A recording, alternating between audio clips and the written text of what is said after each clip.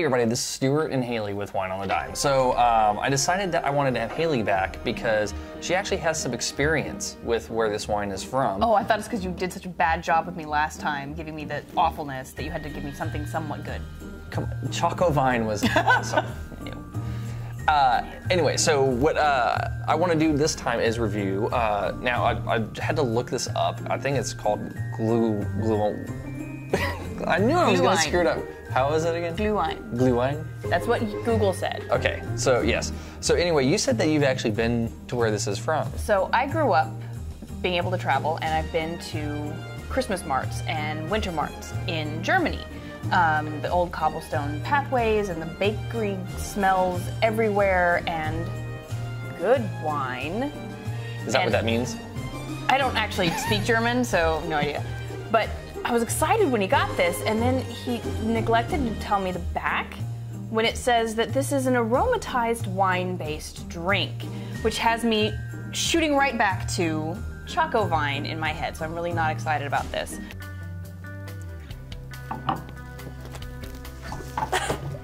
It says Glühwein is a mulled wine. It's an aromatic drink, grape wine with natural flavor. So I think we're going right back to the chemical. Hold on, but I'm, hold on, I hold have not Let's- opened it let's- yet. Let's think of it from this perspective. Mulled wine normally has things like orange peel, clove, some other stuff that's in there. That is a grape wine that is then given natural Yeah, aromas and if that was legit stuff, it would say wine with cloves and cinnamon. This is this is. they, I bet you money. They don't want to give it away. No, They don't want to give it away. No, this the other way, then everybody would be able to make this, and that would just be ridiculous. this is marketing. So, Oh, uh, I'm so not excited. So, oh, it's by the way, it's 8.5% alcohol by volume. I got my local HEB for seven dollars. Um, so, I think this is a screw top actually. You know what this reminds me of? It reminds me of like a 40 of Old English. I'm so scared again. So, uh, Now, true See. mulled wine. ugh, Good. I can't get this thingamajigger out. What is with? You okay, need nails. I need nails. Dude, you like shredded the actual top. Okay, negative one. Screw top that you then shrink wrap in the metal. Not so good. Yeah, that that foil is It foiled it. it. Oh, it foiled us. The opening. Oh. that was a terrible. I'm so sorry. You're never gonna want me back again. Okay. Okay. Anyway, screw top Uh. plus one. Negative one. It was wrapped. Well, the foil was a negative one. Okay, I'll give the foil a negative run one. I'll give the screw top a plus one. Evens out so far. So uh, let me have your ladies first. Hey, it looks like normal wine, I will give it that. so it doesn't look like there's no look like- orange essence coming out of it. What was it? What was it? Iodine. Oh, it looked like iodine and chocolate milk. It was disgusting. Ugh. my, my fan. This, so this is a, a German um, Christmas decoration that we got from a lady at my church, and we are so full of hot air, us, that the candles aren't actually making this turn anymore because because we keep interrupting. Yeah. That that says a lot. Anyway, so uh, let's set this right here. All right. Uh, ready? For, No. oh, hold on. From a color standpoint, I it's just outline on the it's it's it's just. Yeah, it's, it looks like a, a kind of a lighter red wine, almost like a Pinot Noir. Like it's just. I'm just gonna go with garnet, That's a good color for it. I mean, jewel tone, light. jewel tones, which is fitful, like fitting for the holidays. Uh, I'm just about to smell the bottom. yeah, of the I, uh, yeah, that smells like plastic. Yeah. Um, but yeah, it doesn't really have any sort of hint one way or another in terms of like, yeah, it's just a red wine artifact stuff. Uh, from a nose standpoint, that's quite interesting. Like that smells like some really good roast vegetables. It does I was- not smell like wine. So, so I'm going to say this, and it's probably going to ruin this for you now. But I know this. You know what it is. I know exactly what this smells like. what is it? It smells like Italian sausage in red wine. I hate Italian sausage. I'm really not looking forward to this anymore. Good thing I'm German. So, uh, I was looking for the clove and the. I was It- hoping for. I, there's like a fennel. There's I like, don't like uh, fennel. I know you don't like fennel, but but there's uh, like an oregano. you're right. Like it's like fennel oregano. There's a little bit of clove. That there's is like an Italian orange. That is Italian sausage, wine. not breakfast sausage. A true Italian, sausage, Yeah. in a wine glass. Okay. Yeah. All right. So ready? Ready for this tasting? Let's do it. Ready? One, two, three. Oh god, it's sweet. Yeah. And there's cinnamon. I am not putting those two together. I'm not putting Italian sausage aroma with sweet cinnamon. Overall, it's not It's not the most terrible thing in the world. It is not my drink though. No. I, see, I knew it was going to be sweet because it's only 8.5, so that residual sugar didn't get converted to alcohol. So, so that, that- that's going to stay. That's going to make the wine sweeter. But um, Like if it wasn't for the smell, if I was into sweet wines and I kind of wanted a holiday kick type thing, I would probably be okay for this, so traditionally mulled wine is served hot. Mm hmm which we did not do. We did not do. So I'm wondering. No, would you stop it? I was just gonna bide. Um, Maybe that'll cut down on the aroma and increase. Maybe we should try it warm. do you want to microwave it? I don't know how you make it. We're gonna heat this up on the stove, and at least get some traditionalness in here, and we'll be back. Yeah, we'll be back. Okay, so now we're back. I was told I wasn't festive enough, so ah, hashtag Elfie.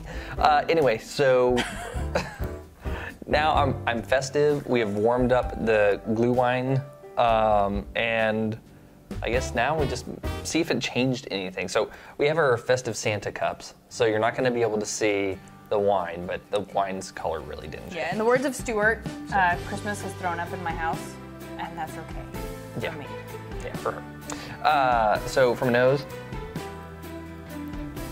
definitely more of the herbs have come out and warming it up. More of the traditional. yeah, the cinnamon, the clove, yeah. the orange, I'm that much stuff. less sausage. this, is like, this smells more like Christmas and less like sausage.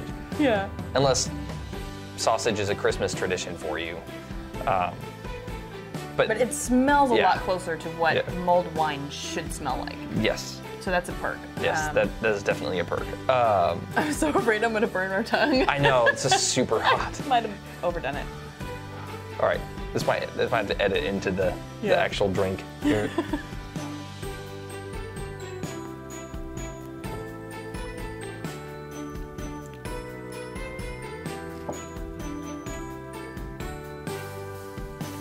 not my cup of tea still. no, it's a cup of wine. So sorry I set you up for that. so still not my favorite drink in the world. Much closer to the real thing. I I can tell that, that some of those natural flavors are still not synthetic real. ish. Yeah. yeah, yeah. I can, I, Um, that, I can. It's, it, it definitely doesn't have a 100% pure quality. Right. But who knows the reason for that? I mean, you maybe can't bottle it if you do it. Like it might ruin. Oh, yeah. Like it might go bad or stale or something like that. But. Um, How's from, that? This is not a hot toddy. no, it's not. Yeah, it's it's. I would say it's okay. I'd go with okay. Yeah, if, I mean, like, if, if I was gonna do something like have a mulled wine at a party, I'd probably make it myself. If I ran out of yes. time, if I ran out of time, grabbing a couple bottle, bottles of this and warming it up. And maybe accenting it with some stuff. Maybe Yeah. throw in some legit orange peel. Yeah, yeah, and, and Actually, like that sounds pretty good. it does. But I don't have an orange. But um, uh, I, I, I- it's not a bad alternative, It's not. especially for like seven dollars a bottle. Yeah. If you don't That's a have the pretty big time, bottle. yeah, it is pretty. I mean, it's a full size bottle. It's uh, actually it's one liter. It's more than a full size bottle. So you're you're getting a lot, Mm-hmm. um, and your ink, German uh, OE uh, 40 looking thing, but it's it's not bad if you warm it up. If you warm it up. Drinking it cold, that was wrong. That was bad. That was not good. Well, it wasn't even cold. It was just like room temp. that was still not good. Yeah, it wasn't good. Um, yeah, warming it, totally the way to go. And it kind of grows on you. I'm taking a few sips now, and you get a little more. And it's not strong enough to have that be the reason. No. I don't know if it's just because I, I really, for the longest time, didn't like sweet wines at all. That I'm just kind of not digging it. But Oh, I'm not digging it. I'm just saying it grows on me. It's getting better. Oh. It's not great. Um, like I could see, not in the state of Texas where it is illegal to do so, but I can see taking this on a campout in a plastic jar or something, heating it up on the fire, and sitting there with the cold wrap, watching the stars, drinking some. I can see that. I can I could see you doing it. And off to the side, You'll have brought your real stuff, and your mm-hmm. and, and I would then dump I- this out I'm just- and use the real stuff. I know. Yes. I yes. But not if I was in a rush. Because this would work in a Yeah. rush. Warm it up, it'll get you through an evening. I don't think anybody's gonna complain. Yeah, Unless they're super snobby. So don't give it to us. Don't. Yeah, don't give it to us. But average person will probably work for you. Uh, anyway, this has been Stuart and Haley. You're not average. I've been running a wine blog for five years. I've had enough. I've drank enough bad stuff and enough good stuff, in order for me to able to pick something out pretty quickly. But um, the average person who doesn't sit there and try a variety of things, they kind of stick to their rabbit. Because that's the, that's the thing, though, is you bring up a good point. The average person tends to find a few wines that they like Yeah. and just buy that all the time. and only that. And, it's and safe. it's only when people really push out and explore and try a lot of different things, and you find some really great things, you find some really bad things Like, Really bad thing. Choco Bone. yeah, um, that that you that you would then go to someplace else and be like, oh, I don't like this. This is like a wine from around this area, and it's just way too like overripe on the fruit or something like that. But it's like try hundreds of different kinds of wines, and you will get to the point where you get that. Average person doesn't try hundred types of wines. No. They might do hundreds bo- of bottles of a couple wines they like, but they're not going to try hundred stuff. So.